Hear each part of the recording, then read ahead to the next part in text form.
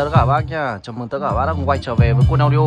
Và tiếp tục video thì uh, ngày hôm nay bên cửa hàng em lên video để giới thiệu cho tất cả mọi người Với à, ba cục đẩy công suất các bác nhá. Ba cục đẩy công suất với thương hiệu của B3 Đấy Lo, uh, Loma 2.6 nhá. Loma 2.6 Đây là một thương hiệu đẩy B3 rất là nổi tiếng.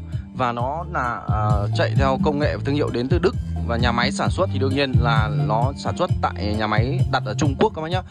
Và ngày hôm nay thì em chỉ có ba cục duy nhất thôi. Thực sự bác là quá đẹp luôn. Em không nghĩ là nó về nó lại được đẹp như vậy đấy chậm Do các bác đầu video có vui vẻ nhá. Bỏ ra một hai giây ủng hộ cho em nút like nhá. Ủng hộ cho em nút like nhá. Và nhớ đăng ký kênh đỏ phía dưới giúp em nhá. Giới thiệu qua cho các bác ngày hôm nay có ba siêu phẩm Tức là ba cục đẩy này. Đấy B3 Loma 2.6 với công suất của nó lên đến 600W trên một kênh đánh ở 8 ôm và 1000W khi mà các bác đánh ở 4 ôm nữa nhá. Đấy, công suất rất lớn luôn, được chưa? Đấy giới thiệu các bác mặt đằng trước đây. Đấy còn rất đẹp Còn rất đẹp. Hai phím âm lượng này các bác nhìn này. Đấy, Em đang cắm trực tiếp này Thì em test chất âm các bác nghe nhá. Đấy Cực khỏe luôn Công suất đánh cực khỏe luôn Rung loa luôn các bác nhá? Rung ờ, cả màn hình luôn Được chưa? Đấy. Mặt đằng sau đây chúng ta có là sao ạ Em giới thiệu các bác Đằng sau đây nhá Con này chỉ chạy một quạt gió thôi Bởi vì nó có một ha vì công suất kép Đấy chưa Rắc lưu trích này Đấy, cầu loa này Đấy, con đây là được tín hiệu vào nhá. Đây được tín hiệu vào. Khi các bác gạt cái nút này sang bên đường link này thì các bác chỉ cần ấn à, cắm rắc à, tín hiệu vào kênh A này thì tự động cả hai bên nó đều có tín hiệu các nhá. Còn khi các bác gạt như này thì nó là chạy site. Thế là giống các kiểu là một bên Molo, một bên site đấy. Loma Molo, à, là site các bạn này. Đấy thì đây nó sẽ nhận hai tín hiệu của hai bên các bạn nhá. Đấy, nguồn đây. Được chưa? Đấy, em giới thiệu các bác một chút.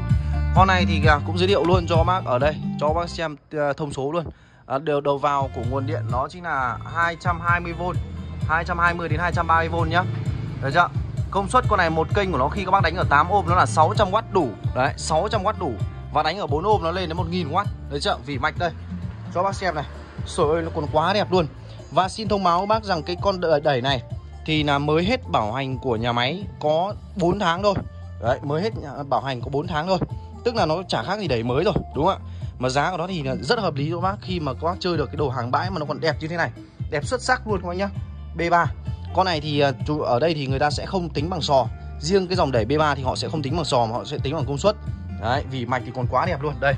Quan trọng đây cho bác xem này đây nhá ngày sản xuất người ta có ghi ở đây rồi. Các bác nhìn này production date này tức là ngày sản xuất này 15 tháng 1 năm 2021 đấy chưa? 15 tháng 1 năm 2021 tức là đến bây giờ nó là tháng 5 Đấy, bây giờ là tháng 5 của 2022 thì uh, cái cục đẩy này mới sản xuất được uh, hơn 1 năm thôi các bác nhá. Mới sản xuất được có hơn 1 năm thôi. Đấy chưa? Đấy còn rất đẹp luôn rất mới luôn. Vào chủ đề chính luôn ngày hôm nay em báo giá cho bác luôn xong thử test chất âm cho bác nghe hôm nay em chỉ có ba cục đẩy duy nhất thôi với thương hiệu B3 công nghệ thương hiệu của Đức. Đấy Loma 2.6 các bác nhá. Đấy giá ngày hôm nay sẽ đưa ra cho tất cả mọi người. À, đó chính là giá à, chỉ là 3 triệu 200 nghìn nhá.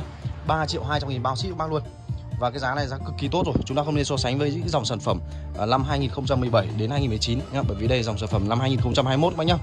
Đấy dạ. Uh, chi tiết các bác đặt hàng liên hệ trực tiếp với bên em. Số điện thoại 0982 838695 các nhá. Ok xin chào lại các bác trong những video sản phẩm tiếp theo nhá.